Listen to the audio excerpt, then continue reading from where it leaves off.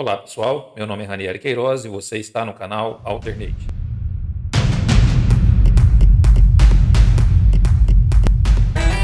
Galera, hoje eu vou fazer um vídeo mostrando para vocês como é que se faz uma integração do Linux dentro da plataforma Windows. Isso já não é novidade, muita gente sabe como se faz isso. Quem trabalha com Linux é, sabe muito bem como criar uma máquina virtual aí para que você rode aí o seu Linux. É, mas porém, hoje eu vou te mostrar uma ferramenta disponibilizada é, pela Microsoft, que é o WSL, que significa Windows Subsystem for Linux. É, então ele cria aí dentro da plataforma Windows como se fosse uma máquina virtualizada é, padrão, né, nativa do Windows, e você pode chamar aí o seu Linux via li, é, linha de comando, né? Torna muito mais fácil aí você fazer isso. Antigamente você poderia fazer isso de duas formas. Você, ou você poderia criar um dual boot no seu Windows, né, que era aí você é, instalar né, uma distro da, do Linux na, no, no, seu PC e também uma versão aí do Windows. E aí lá você criaria um menu e quando você ligava aí o, o, o seu PC tinha a opção lá de você escolher qual era o sistema operacional que você ia, entrar. Né? Essa era uma delas. A segunda forma era você instalar um software aí de virtualização, né, ou virtual machine ou máquina virtual, e aí sim você rodar o Linux ali dentro daquela máquina virtual que estava no Windows, né? Dentro da plataforma Windows você instalava o software e aí sim você chamava o Linux ali dentro, né, e virtualizava tudo. Então essa forma, pessoal, é uma ferramenta, né, disponibilizada pela Microsoft, já não é nova essa ferramenta, o WSL ela já existia há um tempo, muita gente fazia uso dela, mas era desconhecida de grande parte da sociedade aí. E aí a Microsoft lançou agora o WSL 2, que é uma inovação da, do WSL 1, óbvio. Tá? Então esse WSL 2 ele tem três dispositivos aí é, inovadores dentro dessa questão. Eu vou colocar aí na tela para que vocês possam ver quais são esses três é, dispositivos que foi, foram implementados aí no WSL2. Então você pode aí por linha de comando, além de chamar o Linux, tá? Você pode também trabalhar com plataforma gráfica dentro também do Windows, mas esse não é o intuito do vídeo. Hoje eu só vou mostrar para vocês como é que vocês podem fazer essa essa intuitiva aí, essa instalação do Linux dentro aí do, do Windows utilizando aí o WSL2. É, se você não sabe, o WSL significa Windows Subsystem for Linux, pessoal. Ah, essa é, é, o significado aí da sigla. Então vamos lá, pessoal. Eu vou mostrar, eu vou colocar aí na tela, a minha tela, e aí a gente vai fazer essa instalação e eu vou mostrar também algumas funções aí dentro dessa, dessa, nova, dessa plataforma que é o WSL2, né, que chama aí por linha de comando o nosso Linux dentro do Windows. Vamos lá, eu vou passar aqui para nossa nossa telinha. Vamos lá, vou jogar essa telinha minha para riba. E aí, a nossa tela principal do desktop, beleza? Pessoal, e é bom dizer também que isso, é, esse WSL ele vai rodar tanto no Windows 10 quanto no Windows 11. Porém, é em uma build específica ou acima. Para você saber qual é a sua build e qual é a versão do seu Windows, você dá um, um, uma tecla Windows mais R e digita aí WinVer Tá? tá? Aqui eu vou digitar aqui e para mim vai aparecer essa tela aqui, ó. Para você vai aparecer uma tela parecida. E aqui você já pode ver aqui qual é a build, tá? Do seu Windows. Aqui você pode ver que a minha build do Windows 11, o Windows 11 na verdade, o WSL vai funcionar normalmente, mas se for no Windows 10, é, você tem que saber aí que a build específica tem que ser essa aqui, ó, que inclusive está aqui no próprio, do, no, no, no, próprio, próprio layout aqui da Microsoft, tá? Que é a build 19041, tá bem aqui especificada, tá, pessoal? Então essa aqui vai ser a sua build e aí é, propícia se você tiver no Windows 10, tá? E você pode aí estar fazendo aí a instalação do WSE. Bacana? E galera, lembrando aqui também se você vier aqui, ó, tá? É, na Microsoft Store, você pode baixar aqui algumas distros, como por exemplo o Ubuntu on Windows. E tem várias outras aqui também. Você pode fazer a instalação, pessoal. Você pode fazer a instalação. Porém, sem o WSL, tanto versão 1 quanto a versão 2 não vai funcionar de acordo. Eu vou baixar para vocês aqui, tá? Uma versão aqui. Vou baixar essa aqui, ó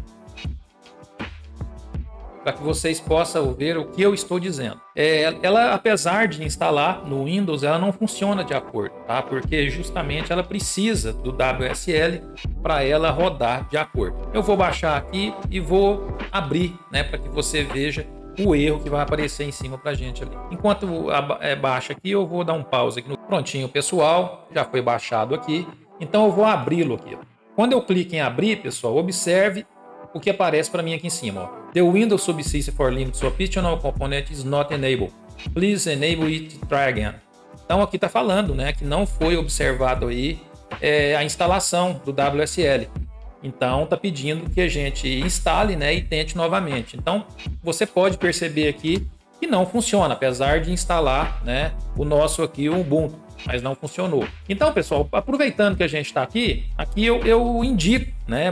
Muitos dos programadores indicam, não só eu, indico que você é, instale aí o terminal porque o CMD ele é muito limitado, ele é muito antigo, ele é muito desfavorável, principalmente para quem faz programação. Ah, então aqui eu indico que você é, instale aqui o Terminal for Windows, que é esse aqui, o Windows Terminal. Então ele é bem melhor que o CMD aí. Então aqui eu já instalei, eu não vou instalar ele aqui porque ele já está instalado. Então aqui ele é muito interessante e ele é muito rápido e é bem melhor que o seu tradicional CMD aí ok? Esse aqui não é tão limitado como o CMD tradicional. E agora, pessoal, para a gente instalar ou habilitar o WSL2, o que a gente vai fazer? Nós vamos aqui a procurar por PowerShell.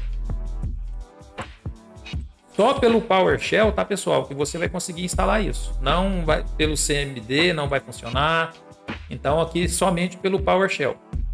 Então você vem aqui executar como administrador Vamos abrir aqui o PowerShell como administrador. Aqui já está o nosso PowerShell, tá? Aqui em cima.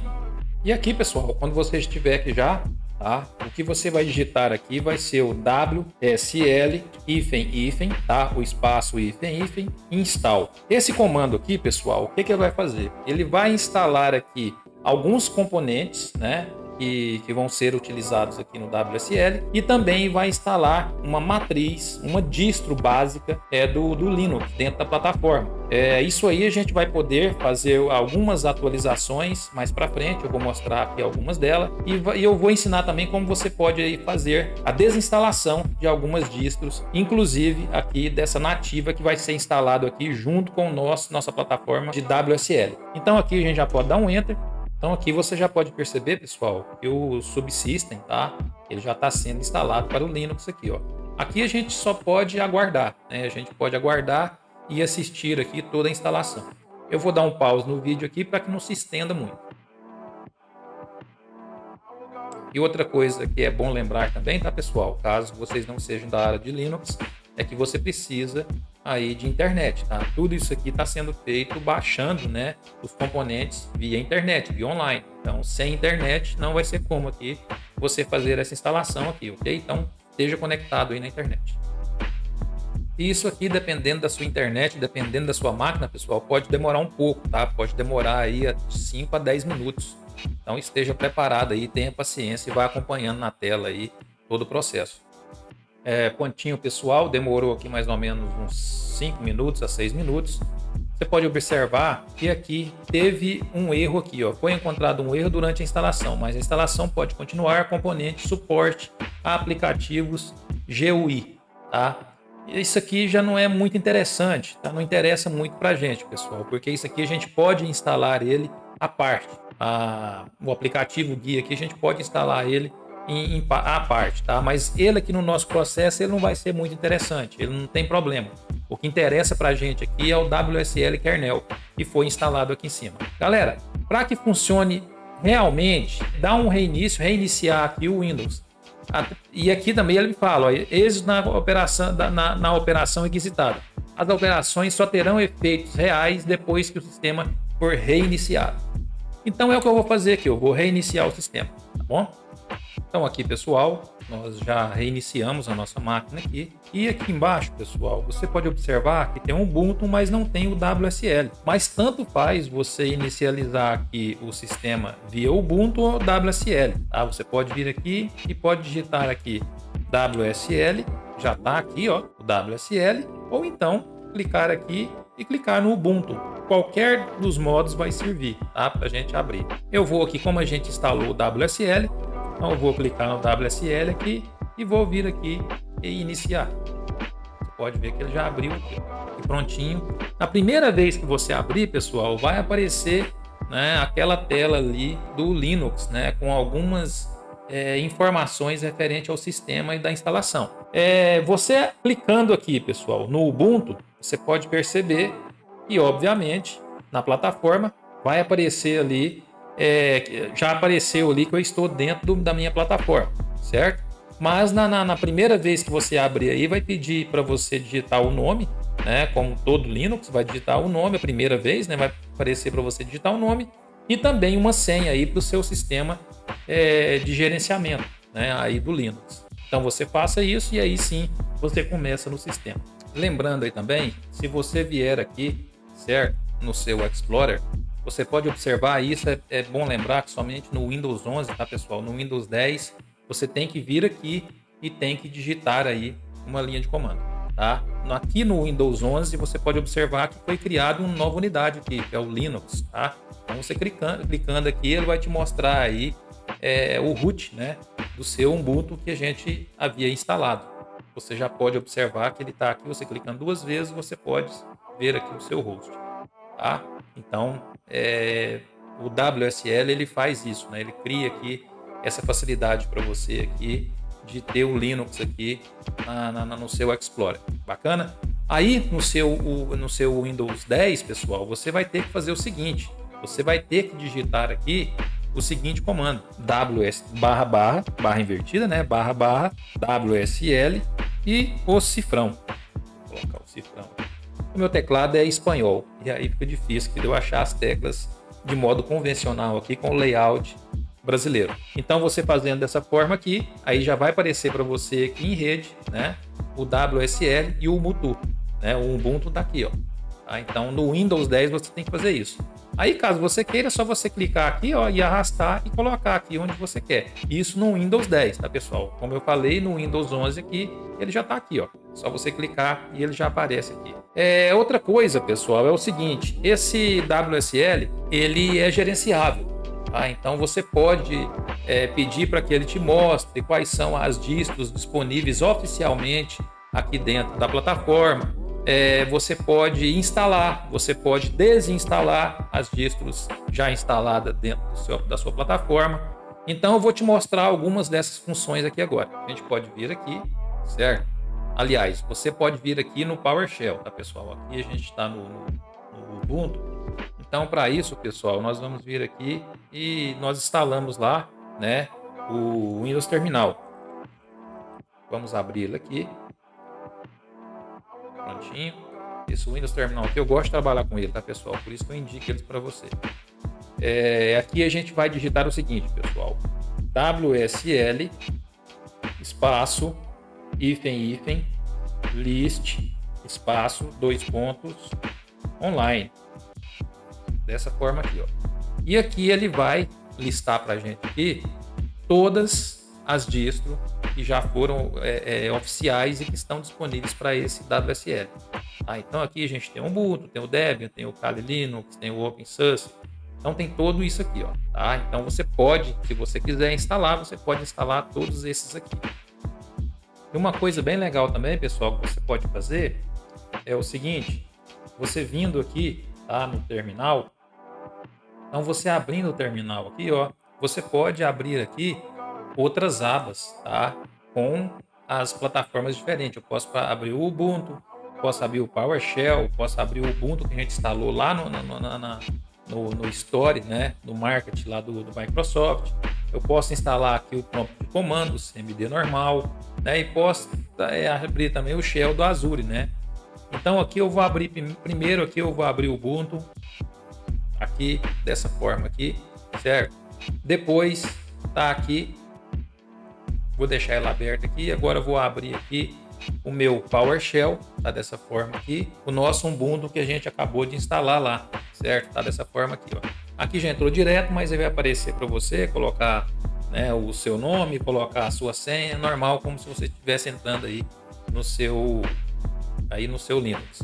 Então isso aqui é muito bacana. Nós temos três aqui, ó. Temos três aqui níveis abertos aqui para você trabalhar. Você pode trabalhar no, no, aplicativo, você pode trabalhar aqui no PowerShell e pode trabalhar também aqui na linha de comando do Linux, tá? Então isso aqui é muito bacana para você trabalhar, isso aqui é uma mão na roda. Então para fazer a instalação, pessoal, nós vamos ir aqui no PowerShell, tá? Nós vamos digitar novamente aí é, o WSL espaço hífen L hífen traço O, tá? E aí ele vai mostrar novamente aí todas as distros oficiais disponíveis aí para a gente baixar, tá?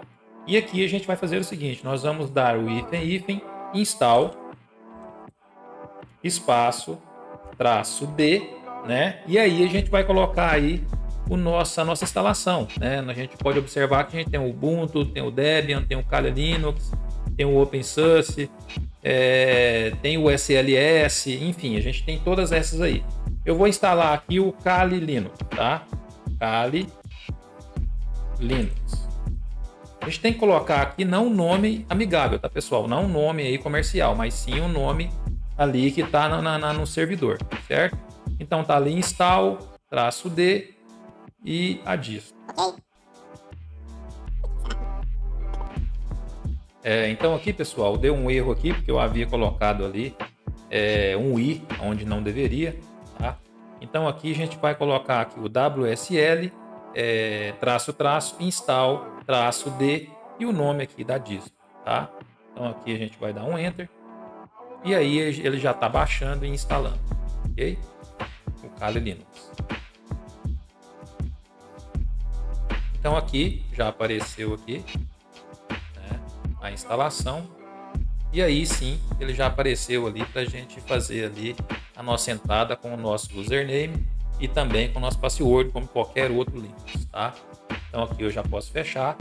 E aqui eu posso fazer isso com todos esses aqui, pessoal. Todos esses aqui eu posso fazer a instalação. E agora eu vou ensinar vocês como vocês podem aí estar, é, como eu falei que ele é gerenciável, né? O WSL é gerenciável. Agora eu vou ensinar vocês a como estar fazendo aí é, a retirada né, do, do Linux aí dentro do nosso sistema, ok? É, e aqui, pessoal, né, outra função que era interessante eu falar para vocês também é que se você der aqui o WSL, então fica dessa forma aqui, ó, WS, WSL, é, traço, traço, list, traço, traço, verbose, tá? Você dá um enter aqui e aqui vai ser mostrado para você qual é a versão que você está fazendo uso, certo? Aqui eu estou fazendo uso do Ubuntu, tá? Mas você também pode escolher aqui qual é a versão que você quer usar, ok? E para isso a gente faz o seguinte: nós vamos colocar aqui esse aqui, ó, WSL espaço traço traço set traço default e aí a gente coloca aí o que, que a gente quer. Aqui no caso eu já havia colocado aqui, tá? Antes eu tinha pausado o vídeo aqui tinha colocado um boom, certo? Agora eu quero colocar aqui o Kali Linux, tá? Ele aí vai ser o nosso default, tá? Então ali eu vou colocar o Kali Linux, não vai aparecer nem nada ali embaixo, tá? Mas se você der um verboso aqui novamente, um list verboso, você pode observar que passou ali para ser o Linux, o Kali Linux, né? O nosso principal aqui, o nosso nosso servidor principal.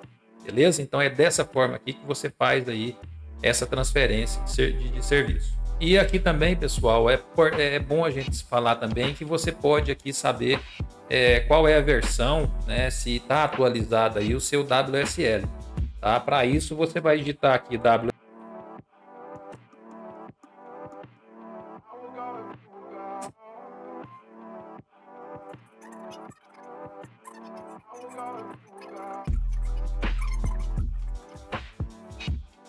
E agora, pessoal, eu vou ensinar vocês aqui como vocês podem remover uma distro, tá? Do sistema do Windows aqui, certo? Como é que a gente pode fazer? Para fazer isso, para facilitar, eu vou colocar aqui, né, para listar aqui para gente o que está instalado, certo? Aqui a gente pode ver aqui o Kali Linux, né, tá como padrão. Ubuntu 20.4 né, e o Ubuntu tradicional. Eu vou desinstalar esse Ubuntu aqui, ó, tá?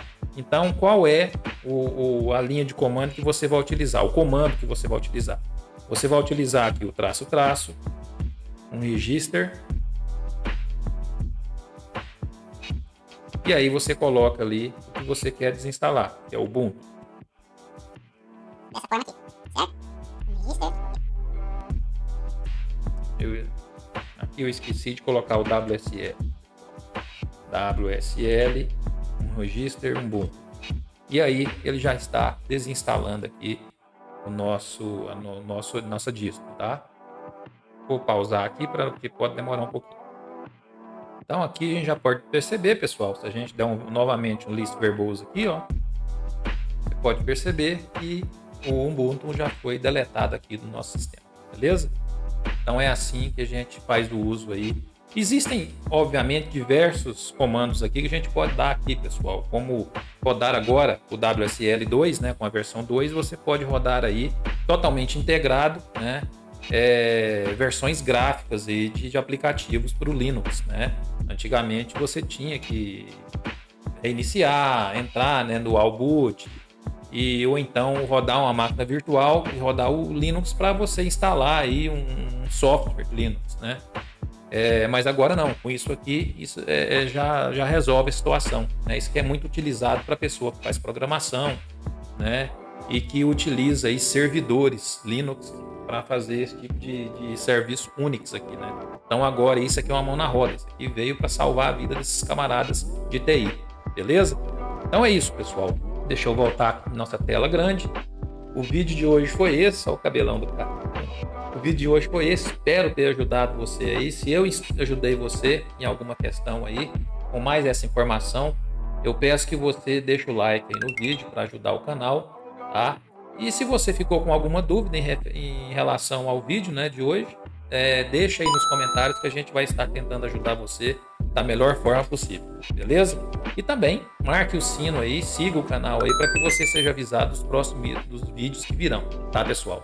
Muito obrigado mais uma vez, até a próxima, valeu